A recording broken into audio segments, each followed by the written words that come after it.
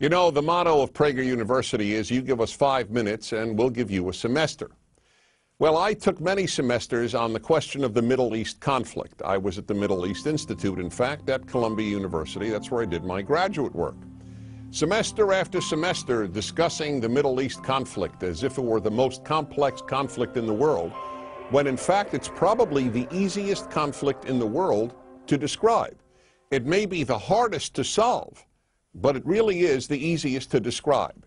And really, in a nutshell, this is what it is.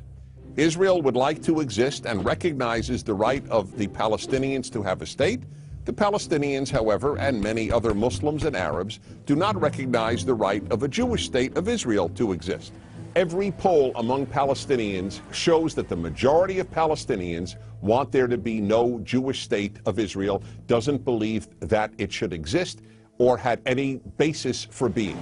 And this has been true since 1948 when the British left and the UN established a division.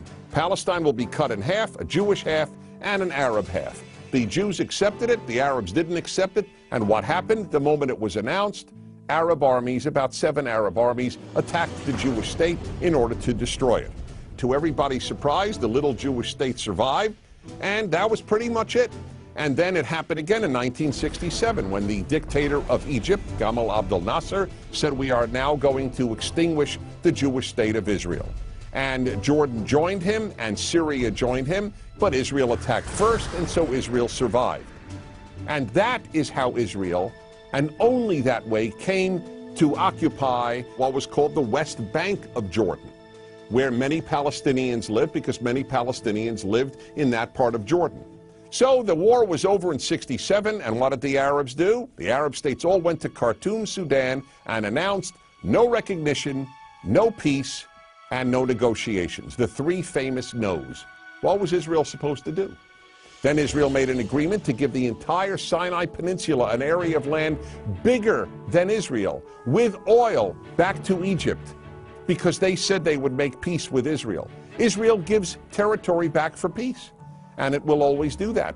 But is there really a desire for peace on the part of Israel's enemies, which broadcast after broadcast on TV and radio in the Palestinian areas is about how Jews should be killed and how Allah wants uh, Jews to be killed? That's the typical broadcast on Palestinian television. And so it's not hard to explain the Middle East dispute. One side wants the other dead. You know what the motto of Hamas is? The motto of Hamas is, We love death as much as the Jews love life. Now, you tell me, how is Israel supposed to make peace when people believe what Hamas believes? Now, here is one of the most important things nobody talks about. Everybody talks about a Palestinian state. Why didn't anybody talk about a Palestinian state while the Palestinians lived under Jordanian rule? Because the truth is, people started talking about a Palestinian state once the Palestinians were under Israeli rule, because it was always a way to destroy the Jewish state of Israel. And I say Jewish state because that's what it is. There are many, many Arab states, but there's only one Jewish state. It is about the size of New Jersey. In fact, Israel is the size of El Salvador. El Salvador. And yet, if a Martian came to the earth and they visited the United Nations or they read the world's newspapers or watched world television, they would believe that the biggest problem on earth is a state the size of New Jersey and El Salvador, this state of Israel. This preoccupation with a little democratic, humane state is absolutely irrational.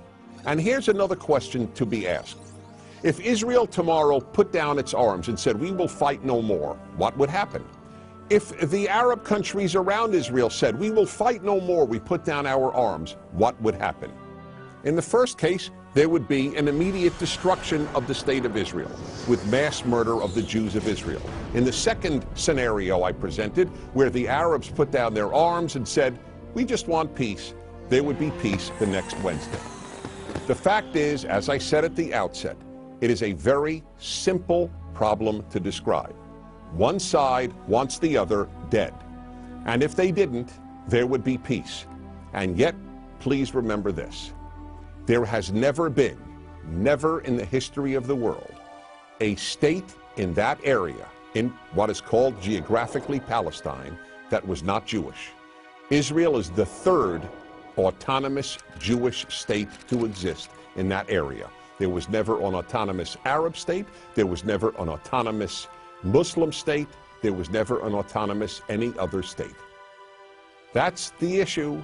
Why can't a little state the size of El Salvador that calls itself Israel be allowed to exist? That, in a nutshell, is the Middle East problem. I'm Dennis Prager.